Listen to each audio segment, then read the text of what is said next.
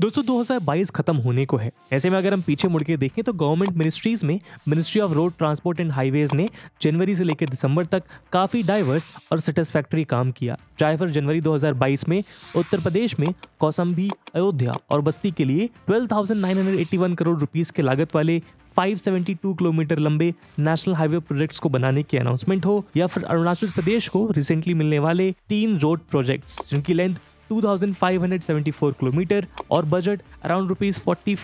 crore होगा जिसमें China को काउंटर करने वाला और रीजनल कनेक्टिविटी को इम्प्रूव करने वाला टू लेन फ्रंटियर हाईवे भी इन्वॉल्व है। और इन्हीं इंपॉर्टेंट डेवलपमेंट्स को रिविजिट करने के लिए हम स्टडी आईक्यू पर कल यानी थर्टी ऑफ़ दिसंबर को सुबह साढ़े नौ बजे ministry of road transport and highways के साल भर के कामों को रिविजिट और रिव्यू करते हुए एक वीडियो अपलोड कर रहे हैं। वीडियो के अवेलेबल होने के बाद इसी वीडियो के कमेंट सेक्शन और डिस्क्रिप्शन में आपको उस वीडियो की लिंक मिल जाएगी।